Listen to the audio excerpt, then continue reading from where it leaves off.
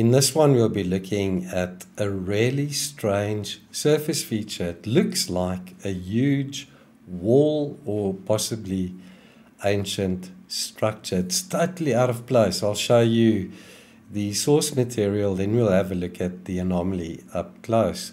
This is in a region called Protonilus Mensae.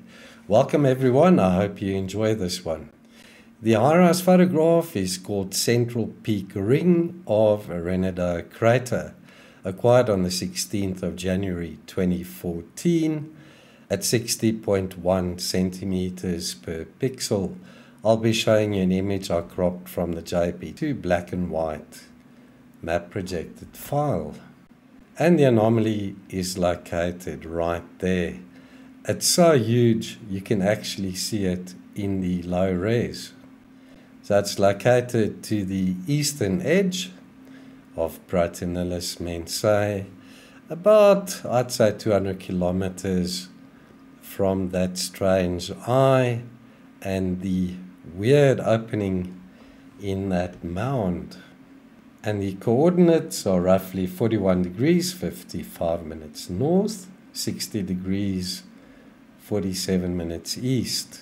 So what I'll do is I'll gradually zoom in on the item so that you can see, check out the surrounding terrain and then compare it to this object. It's got straight edges.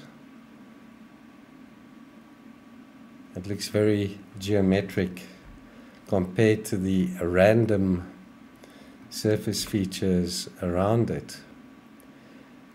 Yeah, we zoomed in a little closer. And here it is at actual size. So the length of that straight edge there is approximately 360 meters. So what could we be looking at here, folks? It doesn't look like any of the surface features in the vicinity and it's got this geometry and symmetry to it. Right, let's go up to the northern mid latitudes to that site. So the circular depression is called Renaudot. And there's a brief look at that anomaly once again. And then just to recap, about 200 kilometers to the west, we have that strange object that looks highly sculpted or manufactured. And then that huge mound with the 700 meter wide symmetrical opening. Some of you have commented it looks like some type of exhaust or material that was ejected from this strange, I don't know, opening. Could it be an underground entrance? Please let me know in the comments what you think of this item. Is it just a natural occurring phenomenon?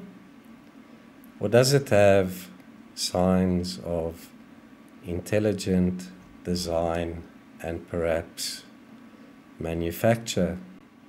I trust that you found this insightful and interesting. Share it with like minded friends. See if we can get to the bottom of what we just looked at.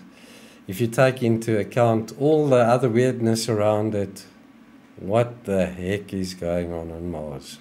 It's a rather strange planet but it's beautiful nonetheless.